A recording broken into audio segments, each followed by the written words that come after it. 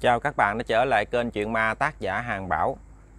Các bạn nghe chuyện nó thấy hay Hãy like, comment cảm xúc cũng như là đăng ký kênh à, để ủng hộ và tiếp thêm động lực cho Bảo các bạn nhé. Chân thành cảm ơn các bạn rất là nhiều. Trong buổi kể chuyện ngày hôm nay thì chúng ta lại tiếp tục đến với à, bộ truyện ma sáng tác Pháp Sư Dân gian. Ở phần vừa rồi à, khi mà nhóm người của Đạt đặt chân đến đất U Minh thì sau cái cuộc chiến nó kết thúc á, Ờ, đã biết được bác Tư Sa là người vì bà con ở đất U Minh mà hy sinh bản thân mình, một tượng đài sống và bây giờ mặc dù là bác đã chết ờ, nhưng bác vẫn luôn luôn là một cái tượng đài cho bà con ở nơi đây. Ở trong rừng thì Hai Liên đã trở thay thế âm thần và trở thành thần rừng ờ, để bộ bảo hộ cho khu rừng thì trong đó người ta có lập cho hai liên một cái miếu và cái miếu này à, tượng trưng cho một cái sự linh ứng à, từ thế giới vô hình. Và dân ở đây á, họ luôn biết rằng à, trong khu rừng chỉ cần họ cố gắng chăm sóc và bảo vệ rừng thì ở trong đó sẽ có một thằng rừng có tên gọi là hai liên sẽ bảo vệ cho họ và giúp họ vượt qua những cái khó khăn. Và kể từ khi mọi chuyện xảy ra rồi đó thì à, bà con ở đây không còn trở ngại về cái việc đi vào rừng nữa. Người ta đi ra ban ngày cũng như ban đêm cứ ra vô thoải mái mà không hề gặp bất luận một cái hiện tượng tâm linh gì. Có điều nhóm người của đạt thì không dám dời đi. À, lý do là có bởi vì theo như suy nghĩ của Đạt, bác Tư Sa trước khi chết có nói Bản thân của bác Tư Sa đưa đảm nhiệm một cái vai trò cũng rất là lớn trong hội tiệc sư. À, mặc dù không biết nguyên nhân và mục đích của hội tiệc sư như thế nào, nhưng với cái tên gọi tiệc sư cũng đã đủ cho thấy hội chủ của hội này sẽ không buông tha cho những pháp sư chính đạo. một phần nữa là bác Tứ Sa khi mà chết là có giao cho Đạt á, cái mặt nạ quỷ và mặt nạ quỷ này chỉ có nửa mặt trăng chứ không phải là tròn vẹn một cái mặt trăng. À, giống như bao cái thầy pháp uh, mang mặt nạ khác. À, đến cả thầy tà hai sới á, thì ông ta cũng mang một cái mặt nạ có một mặt trăng. Còn bác tư sa chỉ mang mặt nạ nửa mặt trăng thôi. Và bác tư sa có nói rằng á, bác là một trong tứ hộ pháp của hội chủ hội tiệt sư có nghĩa là bây giờ bác tư sa mắc thì vẫn còn ba ba cái mặt nạ. Ba người đó khi mà mang ba cái mặt nạ nửa mặt trăng á, thì họ vẫn là ba hộ pháp của hội thiệt sư. Pháp thuật của bác tư sa thì không cần phải nói rất là mạnh đến cả đạt cũng không thể nào mà chiến thắng được bác tư. Vậy thì ba người còn lại là ai và thực lực của họ như thế nào? À, đó là những thông tin mà bác Tư Sa cho ờ, nhóm người của Đạt biết trước khi bác chết. À, còn đặc biệt hơn nữa đó là mặc dù là mang danh là tứ hộ pháp của hội tiệt sư nhưng bác Tư Sa vẫn không biết được. Cuối cùng thì hội chủ hội tiệt sư như thế nào? Cho thấy hội chữ hội tiệt sư á ông ta rất là cẩn thận. Mặc dù là hộ pháp của hội mà vẫn không nắm rõ được bản thân ông ta. Có thể nói đến ông ta chỉ là một cái ẩn số bí ẩn. Và đặc biệt khi mà ai bước vào hội là hầu như cũng phải bị ông ta hạ lên chú thực nguyền rủa và ngại thuật à, để đảm bảo cho cái sự trung thành của tất cả thành viên trong hội. Nhóm người của Đạt dựa theo những cái nguyên nhân này mà suy đoán ra rằng á, hội tiệt sư đã bỏ không biết bao nhiêu là công sức sử dụng đến bát Tư Sa một trong tứ hộ pháp để ở lại đây. Uhm, hoàn thành cái kế hoạch của âm thần mà nửa chừng á cái kế hoạch này bị uh, phá sản bị nhóm người của Đạt bất ngờ xuất hiện mà đánh tan đi cái âm mưu của hội tiệt sư. Chắc chắn rằng hội thực sư sẽ không bao giờ bỏ qua bởi vì một kế hoạch đã được hình thành trong vòng ờ, uh, 5 năm trời. Tốn không biết bao nhiêu là công sức và nhân lực bây giờ lại bị một cái người khác à, đến để mà ngăn chặn kế hoạch và phá vỡ kế hoạch. Âm thầm bây giờ đã bị tiêu diệt rồi. Khẳng định một điều là hội tự sư sẽ không bỏ qua. Nếu nhóm người của đạt mà rời đi khỏi trong ngay cái lúc này á thì rất có khả năng bên phía hội tiệc sư sẽ chúc dặn lên bà con ở nơi đây cho nên nhóm người của Đạt phải ở lại đây nắng ná và chờ xem cái hành động tiếp theo cũng như là đề phòng và bảo vệ cho bà con ở đây. Có điều thì những cái âm mưu và toan tính cũng như là à, những cái xấu xa của hội tiệt sư thì nhóm người của Đạt tuy là đoán ra được nhưng không có nói ra cho bà con nghe sợ bà con sẽ bị hoang mang. Họ chỉ âm thầm mà bảo vệ thôi. À, trong khi đó à, đạt khải hữu và quân thì một mặt họ giấu bà con ở đây không cho bà con biết là những gì mà họ suy đoán. À, mặt khác họ âm thầm bài về những cái pháp chặn cũng như là xua tan đi âm khí và quỷ khí trong rừng. Và cố gắng rèn luyện pháp thuật của mình để có thể chống trả lại à, những cái âm mưu của hội tuột sư bất cứ lúc nào. Hiện tại thì nhóm người của đạt à, đã ở đây hai tháng rồi và trong hai tháng này mọi sự ở đây đều bình yên vô sự cho đến một ngày. Các bạn có nhớ là ở phần đầu của cái phần mà vào đất U Minh này á thì cái hôm mà nhóm người của thầy Năm à, cùng với hội đồng dư đi ra vào cái bãi đất trống để mà làm một cái pháp đàn thì cái lần đó à, dông hồn của cô Như con của cháu nội của ông ba hiện lên và có những cái dông ma gia à, bắt được một cái cậu đinh. Thì có chú hai thành và hai người cha trẻ một cậu tên là đen một cậu tên là thực. Thì ba người này chung sức với nhau để bảo vệ cậu đinh. Đến cuối cùng á, thì nhờ hai liên xuất hiện giải thoát cho dông hồn của cô gái. Và chính cô gái trước khi mà rời đi á, là phải cứu ba người này. Và sau này thì ba người bác hai chú hai thành à, đen và thực đều đứng về phía của bà con nông dân ở đây. Khi mà hội đồng dư đến gặp đạt họ đứng ra để bảo vệ cái mảnh đất thiên liêng của họ không muốn cho những kẻ có thế lực và đồng tiền uh, hà hiếp khách của họ. Và cái hôm mà ông ba dẫn bà con đi vào trong rừng để phụ giúp cho đạt ờ, khải, hữu và quân. Ờ, lúc đó cũng có đen và thực đi theo. Mặc dù với con mắt bình thường của họ thì họ không thể chứng kiến được cái trận chiến khốc liệt đó. Nhưng ờ, khi mà hai liên nhập ma đó chuẩn bị ra tay kết thúc tất cả thì họ cũng là người đứng ra để che chở cho những người đã từng bảo vệ mình thì hai cái cậu này cậu đen và cậu thực sau gần hơn một tháng á, thì đạt và khải có cho bà con ở đây hay là à, bà con cứ việc khai hoang cái phần đất mà mấy mẫu đất trống để tiến vào rừng đó cứ hoai khai hoang cái phần đất ra để mà canh tác. À, không có những dông hồn gì nữa cả thì quả thật như vậy bà con đi vào rừng là chuyện bình thường huống hồ là cái chỗ mà đất trống bên ngoài. Thì mỗi người sẽ chia ra một nơi một nơi ở gần cái bìa rừng. À, để mà khoai khai hoang khi mà khi trước không có dám làm thì bây giờ làm. Và cậu thực và cậu đen này thì chọn đúng vào cái vị trí cái mảnh đất cái mẫu đất hoang á để mà nối tiếp khu rừng mà ngày trước Đạt và Khải đã đi vào trong đó để tiến vào khu rừng. Hai người này thì làm bất kể ngày đêm. À, do là rất là siêng năng. Với lại bây giờ thì đâu còn trường hợp tâm linh nữa đâu cho nên họ không cần phải sợ. Và họ tin tưởng rằng với giới nhóm người của đạt á, đã giải quyết được tất cả rồi. À, thì hai người cái đêm đó là đang làm à, do là không sợ ma không còn ma cỏ là lấy đâu mà sợ cho nên là họ làm vào ban đêm. Lúc đó là cũng độ cái tầm là 6 giờ mấy 7 giờ tối.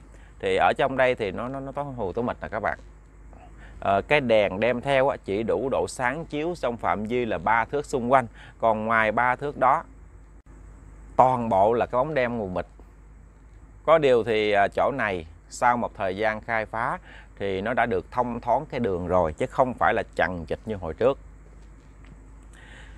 À, đang làm một chút xíu á, thì đen và thực mới nghỉ ngơi và ăn xong một cái bữa cơm tối đơn giản. Sau đó hai người mới ngồi mà nói chuyện với nhau một chút xíu. Cậu đen mới nói á à, mày thấy không thực? Bà con mình ở đây á cũng nhờ vào nhóm người của anh đạt không những nhóm người của anh đạp giúp chúng ta à, diệt trừ đi những cái tên thầy tà xấu xa à, diệt trừ đi à, những quan hồn những dông quỷ đã gây hại cho khu rừng. Và ngay cả những cái thế lực tàn ác như bá hộ như hội đồng dư thì à, cũng đã bị diệt trừ giúp đem lại cuộc sống yên bình cho bà con ở đây. Thì cảm ơn mấy anh này hết sức hai người thì nói chuyện chung quy với nhau, vẫn là ca tụng cái sự hiệp nghĩa cũng như là cái tấm lòng à, chân thiện của nhóm người của Đạt. Thì sau một lúc nói chuyện đó à, họ mới tiếp tục bắt tay vào công việc. Lúc này thì đen mới nhào xuống một cái chỗ cái chỗ này thì đang hì hục đào để mà bứng một cái gốc cây tràm gốc cây tràm thì do nó đâm dễ quá sâu à, mặc dù đen đã đào sâu xuống gần cả thước rồi nhưng mà chưa tới cái bộ rễ chính ở phía dưới của nó. Mà nếu không chặt được cái đoạn đó thì không thể nào bứng được cái gốc tràm. Đen phải nhảy xuống và tiếp tục cái công việc là đào xung quanh cái gốc tràm. À, sâu xuống một chút xíu nữa thì mình có thể cắt được cây gốc chính của cây tràm đó. Thực thì đứng ở phía trên à, làm những cái công việc xung quanh giống như là dọn cỏ cho nó thoáng chỗ này rồi làm những công việc lặt vặt để mà phụ cho ờ, đen. Mỗi khi đen mệt thì đực ờ, thì thật sẽ bước xuống và làm phụ. Họ luân chuyển như vậy. Một hồi sau thì đen vẫn là cái người ở phía dưới cái lỗ còn thực thì đứng ở phía trên. Anh mới khát nước. Thì anh mới hỏi ờ, đen rằng là cái bình nước mày để ở đâu? À, đen nói là để ở cái góc chàm đằng kia. Cái góc chàm đằng kia thì nó cách cái vị trí chỗ này độ khoảng 30 thước à, lúc này thì thực mới nói thôi bây giờ mày ở đây đi để tao lại đằng góc chạm đó tao lấy tới cái bình nước đem lại. Do là đen phải đào sâu xuống mà lại vất vả nữa. Cho nên là thực không có lấy đèn theo để cây đèn ở đó cho đen có thể dòm thấy rõ ràng mà làm việc. Bản thân thực thì mới đi sâu lại đằng kia ở cách 30 thước à. Mặc dù là ban đêm không có thấy ờ, đường gì nhưng mà do là quá quen thuộc rồi, ngày nào cũng ra làm đêm làm ngày. Ở đây thì cái đường đi lối bước rất là dễ dàng để mà nhìn ra các bạn. Thật mới không cần đèn và anh đi từng bước lại chỗ cái cây chàm ở cách đó 30 thước. Đi đến đó thì anh kiếm không thấy. Mặc dù anh nhớ trong cái trí nhớ anh rất là rõ ràng. Bình nước thì anh để ở ngay cái góc của cây chàm và đồng thời khi nãy ăn cơm nước này nọ xong á, anh cũng để chén gì ở đó. Mà bây giờ đi lại tìm quanh quẩn, thậm chí tìm xung quanh phạm vi hai, ba thước cũng không có thấy. Thật mới nó ủa, lạ vậy? Hồi chiều rõ ràng là ăn cơm, nãy ăn cơm nước xong mình để đây, mà bây giờ sao tìm hoài không thấy? Không lẽ chó mèo nó tha? Nhưng mà cái ý nghĩ đó cũng được thực ờ, đập tan đi khi mà anh suy nghĩ theo một chiều hướng khác cái bình nước á, thì mình treo trên cái nhánh cây gần đây. Còn không mấy thì mình để ngay cái góc chỉ có hai vị trí đó thôi. Còn cơm nước thì mình đã ăn xong hết rồi. Bên trong không còn đồ ăn cũng không còn cơm thì chó mèo gì mà nó lại uh, tha chén dĩa đi làm gì? Chứ lại làm ở đây gần cả tháng trời rồi có gặp con chó con mèo gì đâu. Anh suy nghĩ hoài mà không tìm ra cái lý do. Lúc này anh mới cất tiếng lên. Anh la lớn lên để mà anh hỏi bạn của mình. Ơi đen ơi. À, mày có ờ, đợi chỗ nào khác không? Sao tìm hoài không thấy? Thật kêu hai ba tiếng như vậy nhưng mà không thấy dấu hiệu của đen trả lời. Mặc dù là với phạm vi 30 thước anh dòm lại thì vẫn thấy cái bóng của ờ, uh, ở đen á, là đang hì hục đào bới dưới. Mà sau kêu hai ba lần? Bạn mình vẫn không có trả lời. Thật mới lẩm nhẩm là trời đất ơi cái thằng này nó làm cái gì cũng chăm chú vô nó làm. Nó không hề nghe cái tiếng xung quanh. Nhưng mà nói gì đen ngay cả bản thân mình cũng bản bản thân thật cũng vậy. Thay vì như vậy á, thì cậu cậu chỉ việc là đi thẳng lại 30 thước để mà hỏi đen thì cậu không làm. Cậu cứ đứng đó cậu lào bào thêm một lần nữa. Ờ, đen ơi mày để đâu? Ở đây nè. Thì ngay cái lúc mà thực quay lại hỏi đen thêm một lần nữa, thì thực lại nghe ở phía sau lưng mình có tiếng trả lời. Và cái tiếng trả lời này chỉ vỏn vẹn ba chữ thôi, nhưng làm cho thực rợn hết cả người và nổi đầy gai ốc. Tiếp theo đó theo cái câu nói đó thì một cái giọng cười cũng ngay phía sau lưng của thật luôn. Bởi vì lúc này là anh đứng anh quay mặt lại với đen có nghĩa là sau lưng anh là cái cây chàm. Và cái tiếng phát ra cũng từ cái cây chàm đó. Khiến cho cả người thật là cái bằng bủng rủng chân tay hết. Một cái nỗi sợ vô hình nó ập vào người anh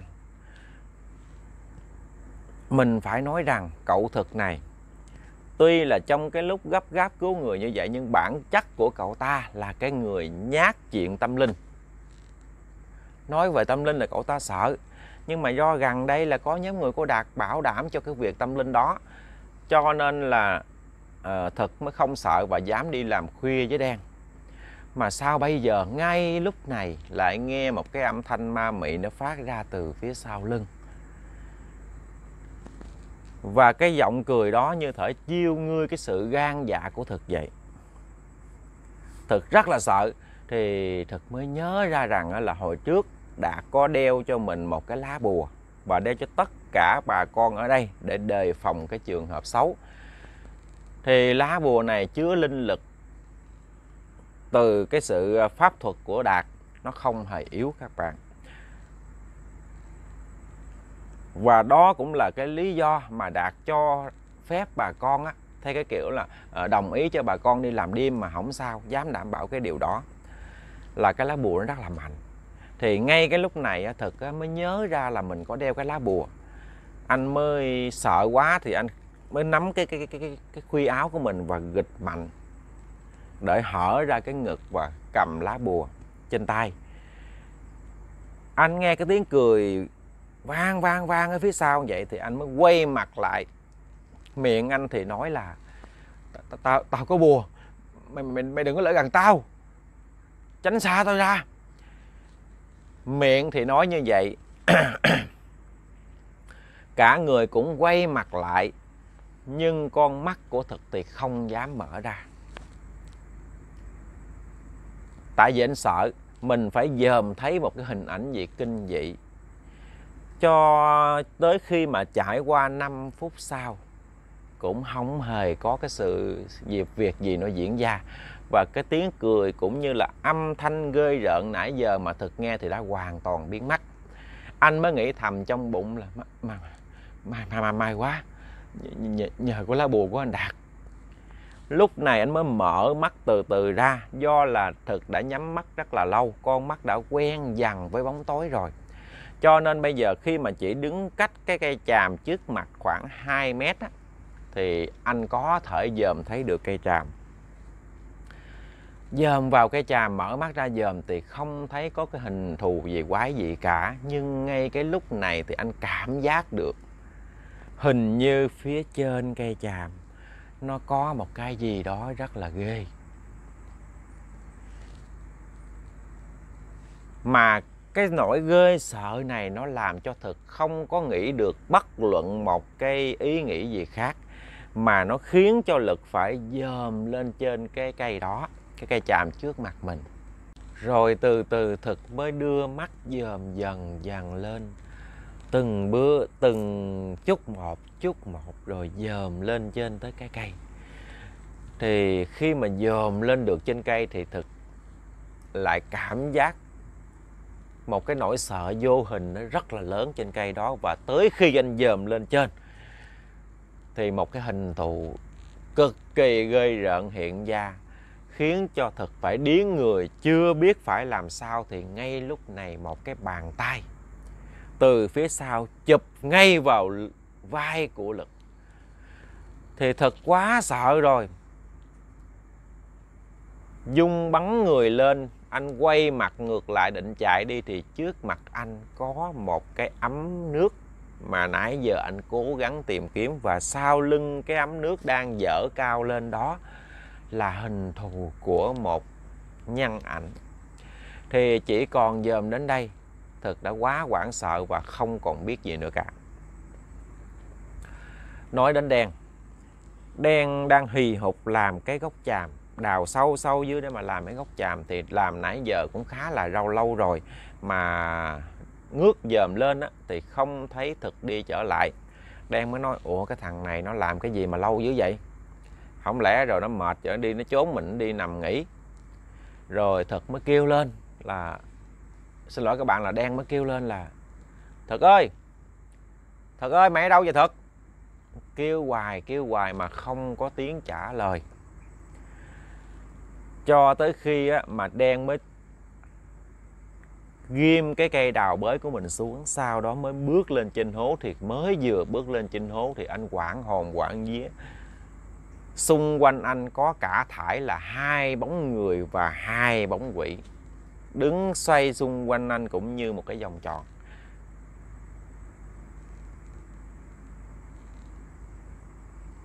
Cái cậu đen này á anh đen này ảnh cũng gan dạ đó. Nhưng mà bất thình lình có cái sự xuất hiện như vậy khiến cho anh phải giật bắn người và té bịch xuống đất. Đến khi mà anh định thần lại đó, thì hai nhân ảnh, hai cái bóng người đó đã đứng đối diện với anh và trên mặt họ là mang hai cái mặt nạ quỷ và mỗi mặt nạ chỉ đều có nửa mặt trăng. Như đã biết, bác Tư Sa khi mà chết có nói là còn tổng cộng là ba cái mặt nạ có hình nửa mặt trăng như vậy nữa. Thì ba người đó là hộ pháp của hội tiệt sư. Điều đó thì cậu đen này có nhớ, và ngay tới bây giờ đã thấy trước mặt mình là hai cái mặt nạ có hình nửa mặt trăng. Đồng thời đứng hai bên họ là hai cái dông quỷ cực kỳ ghê rợn nó lớn hơn người bình thường và miệng của nó nhớp nhép ra những cái chất lỏng màu xanh và nanh nó mọc ngược trở lên. Mắt thì đỏ ngầu à, nhìn rất cực kỳ ghê rợn và ánh mắt đó là cái ánh mắt có thể là muốn ăn tươi nước sống cái người mà đang đối diện cũng chính là đen. Có điều như thể là nó không dám hành động bởi vì nó còn cần một cái sự ra lệnh nào đó và không cần phải nói cũng đủ biết nếu hai người đang đứng đây mà ra lệnh thì chắc chắn rằng hai dòng quỷ hai bên sẽ nhào tới và xé xác uh, đen trong chớp mắt. Hai người này một người á thì cầm một cây đuốc và đứng có phần hơi nghiêng về phía sau còn người kia thì đứng xích ra phía trước và thái độ ung dung hai tay chắp phía sau. Nhìn thấy cái vị thế này nếu như đen là cái người mà bình tĩnh và à, có thể suy luận ra được thì chắc chắn rằng đen sẽ biết rằng cái người đứng ở phía trước à, có cái quyền quy và à, cái danh vọng lớn hơn rất là nhiều so với cái người ở phía sau. Bởi vì từ trước tới giờ mặc dù ông ta đứng khoanh tay ra phía sau lưng chắp tay ra phía sau lưng thì cái người phía sau cũng không hề dám động chỉ cầm cây đuốc đứng một bên. Lúc này mặc dù rất là hoảng sợ nhưng mà đen á, lại có một cái dự cảm không lành và cái nỗi sợ khác làm cho uh, đen như quên đi cái nỗi sợ hiện tại đó là đen sợ thực đã xảy ra chuyện. Dùng hết cái sức lực cũng như là cái khí lực lấy hết cái can đảm của mình, đen mới nhìn thẳng vào mặt hai người đó và hét lớn lên rằng, các người muốn làm gì? Bạn tôi đâu? Thằng thật đâu? Lúc này á, thì cái người đứng ở phía trước á, chỉ lắc lắc cái đầu và người ở phía sau cười lên một cái chàng cười cái người phía sau là cái người cầm đuốc á cười một chàng cười và nói rằng á bạn của mày không có sao nhưng chắc cũng không có sống nổi đâu. Nghe đến đây á đen gần như là, là, là nổi điên. Đã biết rằng bác tư sa nói là nếu mà có người mang mặt nạ như thế chính là hộ pháp của hội tuyệt sư mà hộ pháp của hội tuyệt sư đâu phải ai cũng được như bác tư sa trong cái hội tiệc sư này thì theo như lời cởi trước khi chết của bác tử sa là đều là những kẻ độc ác và tu tà. Mà bây giờ lại đến đây, lại nói rằng là đã hại thực rồi, cho nên trong lúc này, cái sự thù hận lớn quá khiến cho đen gần như là mất đi lý trí. Anh mới gào lên khung nạn, tao liều mạng với tụi bay. Thì vừa nói dứt tiếng đen mới nhào đến định là liều mạng với những kẻ đã gây tổn hại cho bạn mình.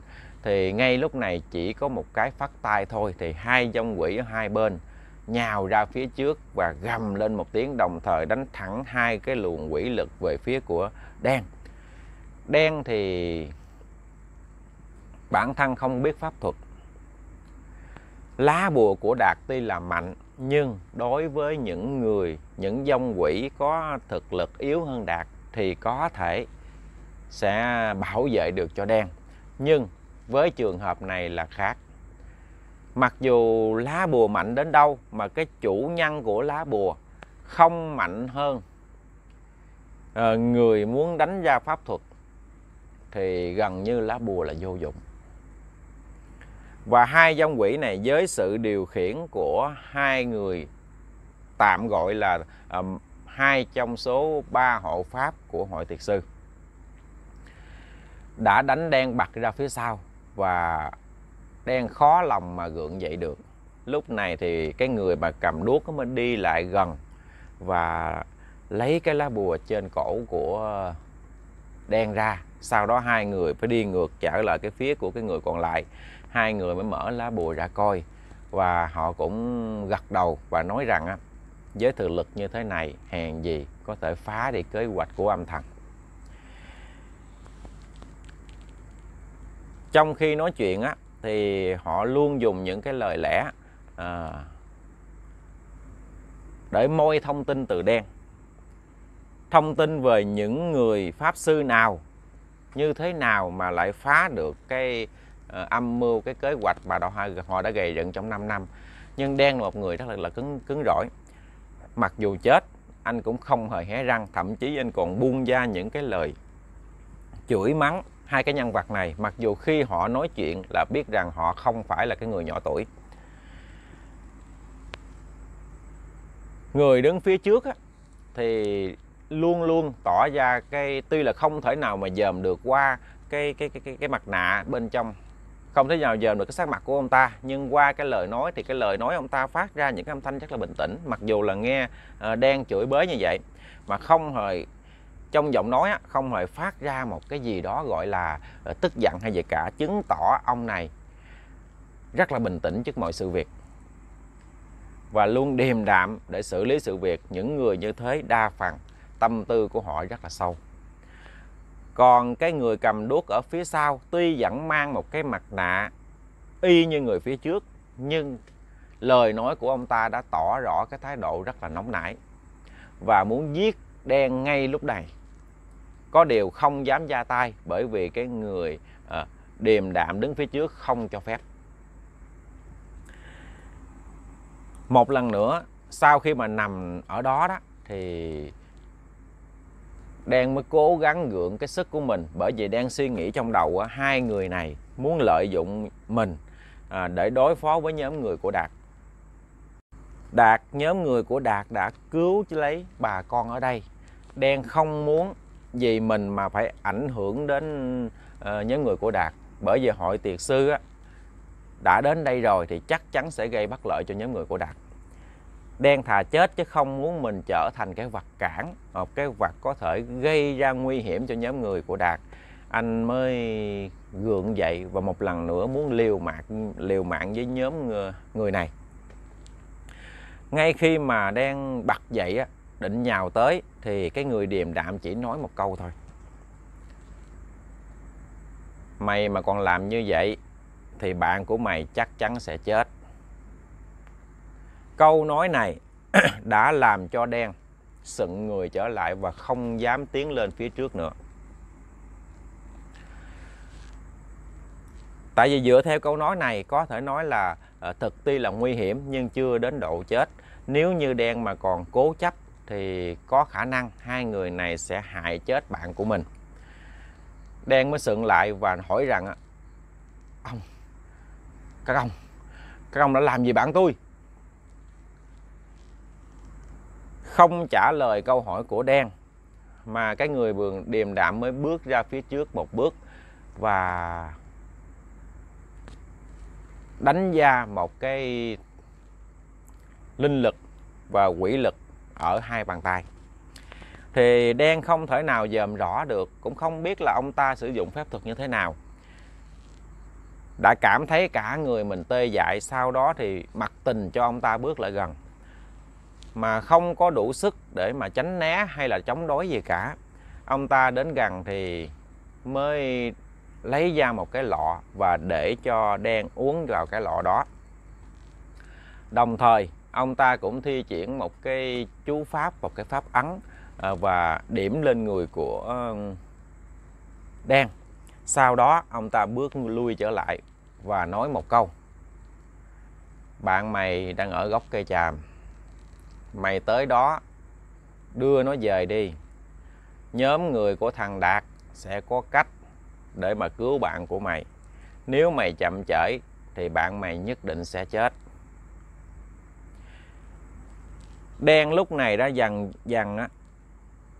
Giống như ông ta không còn thi pháp nữa, thì đen không còn bị cái sự khống chế mà đứng tại chỗ nữa. Tâm trí đen tuy là tỉnh táo nhưng sức lực rất là mỏi mòn anh mới dán gượng và suy nghĩ trong đầu á. Mình phải cố gắng. Dù cho mình không nghĩ đến mạng của mình cũng phải nghĩ đến mạng của cậu thực. Mình phải đưa cậu thực về chỉ có nhóm người của anh đạt mới cứu được thực thôi.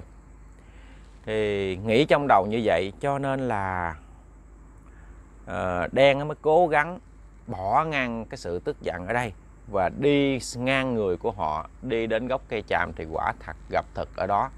Anh kêu liền không biết bao nhiêu tiếng nhưng mà thực không hề trả lời cứ nằm im bất động như là cái người sắp chết vậy. Mặc dù bản thân mình không còn sức lực nhưng đen vẫn cố gắng cổng bạn của mình lên mình lên từng bước một từng bước một và đi trở về với hy vọng là có thể cứu được. À, thực thì trong đêm tối Ờ, một người cõng một người lầm lũi trong đêm, để lại hai cái bóng hình và hai cái dông quỷ đang đứng đó. Và có vẻ như cái người ở phía sau, cái người cầm đuốc ra vẻ rất là tức giận vì cái hành động vừa rồi của cái người đứng phía trước. Tức giận ở đây là tức giận đen đã thoát khỏi chỗ này và cái hành động vừa rồi ờ, của cái người điềm đạm phía trước đó khiến ông ta không hiểu nổi lý do chứ ông ta làm sao dám tức giận về cái hành động ờ, cái, cái, cái cách cách cư xử của người phía trước. Ông ta chỉ tức là đen là cái người xúc phạm mình nãy giờ không màng cái chết xúc phạm mình. Ông ta lúc nào cũng muốn giết đen ngay cái lúc đó mà bây giờ đen đã được thả đi rồi thì ông ta tức giận là tức giận ở cái điểm đó thôi. À, tới đây thì bảo xin phép ngưng nha các bạn. À, và các bạn sẽ được nghe liền theo đó cho nên là các bạn dán đợi bảo chút xíu. Thì không biết làm sao mà cái người cầm đuốc đứng ở phía sau lại tức giận à, vì đen thoát chết. Và cái hành động khi nãy của cái người điềm đạm phía trước đó cho đen uống một cái chất lỏng và thi pháp một lần. Chẳng lẽ cái đó là cái cách để mà hóa giải cái quỷ lực vừa rồi của hai dòng quỷ đánh lên? Thì không biết nguyên nhân như thế nào. Các bạn nán chờ trong giây lát các bạn nhé.